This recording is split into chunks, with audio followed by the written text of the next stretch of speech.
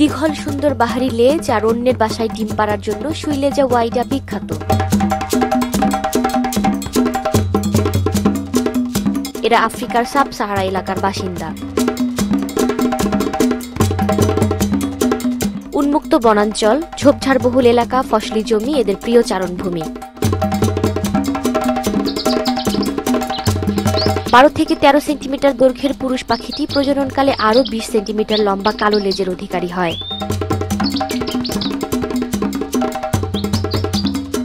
এস্ট্রিল did Finch ও ওয়াস্কবিল পাখির বাসায় এরা ডিম পারে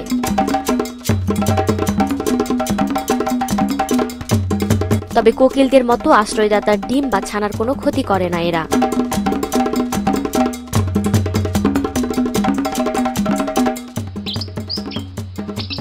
সাধারণত সাদা রঙের একটি ডিম পারে ডিমটি আকারে কিছুটা বড় হলেও আশ্রয়দাতা তা বুঝতে পারে না।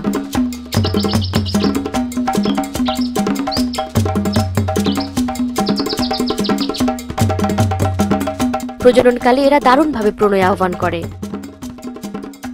স্ত্রী পাখিকে ঘিরে দ্রুত ডানা ঝাপটে ওড়াউড়ি করা, লম্বা লেজটা প্রদর্শন করা আর মধুর কণ্ঠে প্রণয়িনীর মন ভোলানো সবকিছুই করে পুরুষটি।